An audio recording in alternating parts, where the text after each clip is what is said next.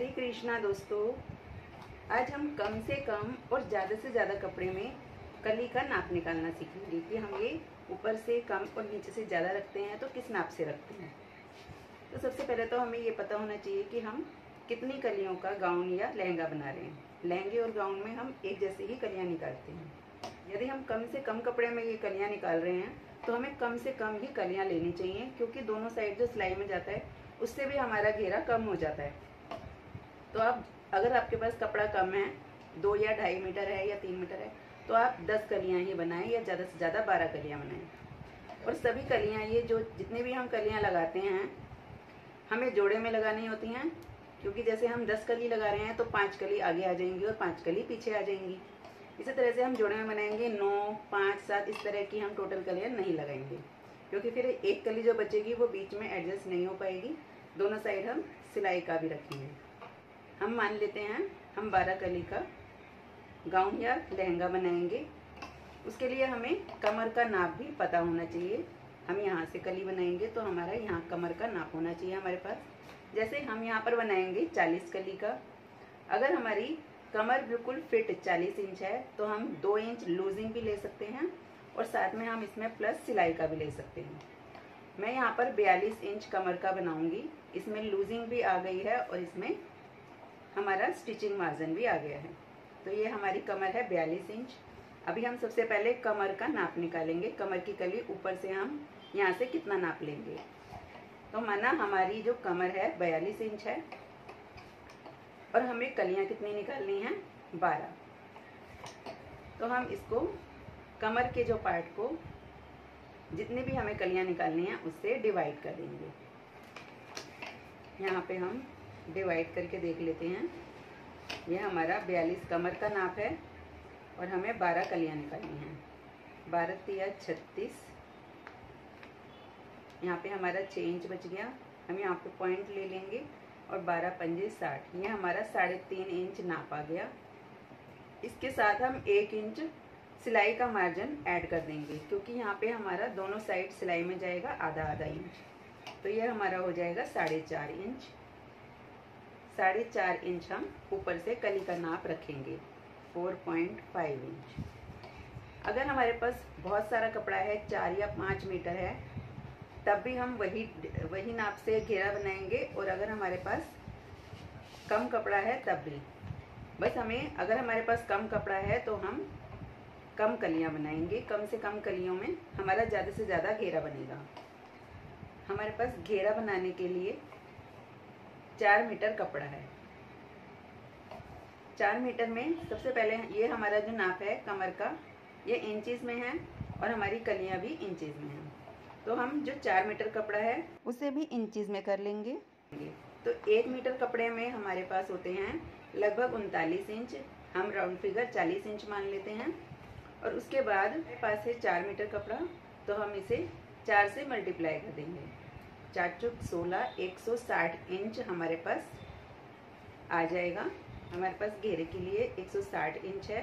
इसे भी हम जिस तरह से हमने कमर का ये कली निकाली थी, उसी तरह से हम निकालेंगे ये घेरे के लिए। तो 160 जितना हमारा घेरा है, उसे हम यहाँ पे रख लेंगे और हमारी कलियाँ हैं 12 तो हम 12 से डिवाइड कर देंगे। तो लगभग साढ़े तेरह इंच हमारे पास यहाँ पर आ जाएगा। ये हमारे पास साढ़े तेरह इंच आ गया। ये हम एज इट इज़ ले लेंगे क्योंकि हमारे पास कपड़ा उतना ही है, चार मीटर ही है। अगर हम ये एक बंद कली का बनाएँगे तो हमारे पास कपड़ा चार मीटर या हम उसमें मार्जिन नहीं लेंगे प्लस मार्जिन नहीं करेंगे। और अगर हम एक कली इधर से और एक कली इधर से निकाल रहे हैं तो हम इसमें थोड़ा सा साढ़े तेरह से ज़्यादा भी घेरा ले सकते हैं, क्योंकि हमारा इस तरह से कपड़ा बचता है।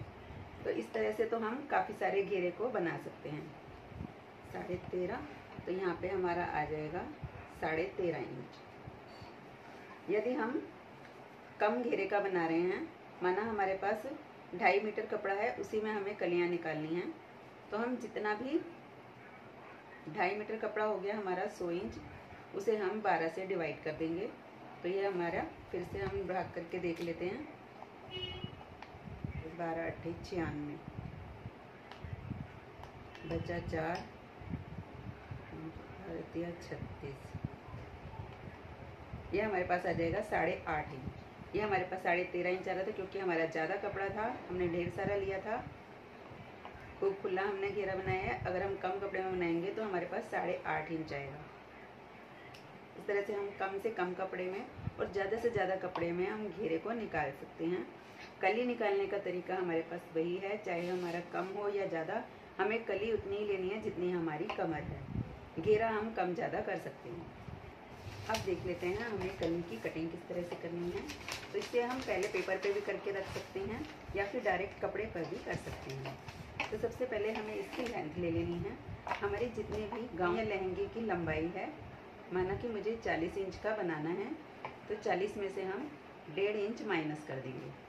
तो ये हमारे पास हो जाएगा 38.5 इंच ये हमने बेल्ट के लिए माइनस किया है। तो जब हम बेल्ट को जोड़ेंगे तो हमें आधा इंच प्लस करना है और नीचे भी हम जो लेस लगाएँगे या फिर हम कुछ भी चौड़ी पट्टी लगाएँगे तो उसमें भी हमें आधा इंच चाहिए।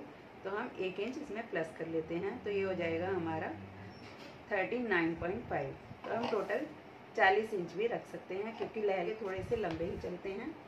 तो हम सबसे पहले चालीस इंच की लंबाई ले लेंगे। मान लीजिए ये हमारी पूरी चालीस इंच की लंबाई है तो इसे हमने इस तरह से फोल्ड कर लिया है, क्योंकि कली नीचे की तरफ़ ज़्यादा घेर से इस तरह से आती है। तो हमारे कमर है forty, four point five inch. ये हमने फोल्ड कर लिया है तो हम इसका आधा कर लेंगे। ये हमारा हो गया इतना, साढ़े चार इंच। इसको हम हाफ़ करेंगे। इस तरह से मोड़ भी सकते हैं इंच टेप से। उससे भी आप इस तरह से निशान लगा सकते हैं, अगर आपको दिक्कत होती है तो। इस तरह से निशान लगा लेंगे, या फिर ये हमारा आ जाएगा सवा दो inch, two point two five inch. इसी तरह से जो ये हमारा साढ़े तेरह इंच आया है, या फिर हम कदम घेरे का बना रहे हैं यह हमारा ज़्यादा घेरे का साढ़े तेरह इंच आया है, और कम घेरे के लिए हमारे पास साढ़े आठ इंच आया है। अगर हम कम घेरे का बनाना चाहते हैं तो इसे भी हम हाफ़ कर लेंगे तो यहाँ पे से हमारा हो जाएगा सवा चार इंच। ये हमारा साढ़े आठ का आधा हो जाएगा, सवा चार।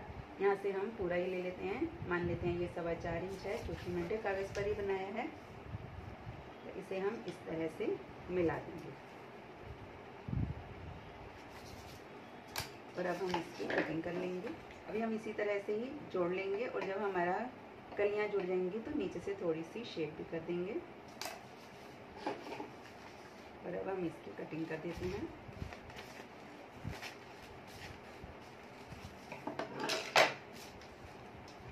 ये हमारी इस तरह से कली बनकर रेडी हो जाएगी। ये ऊपर से कम है। नीचे से मेरा घेरा थोड़ा सा कम रह गया था।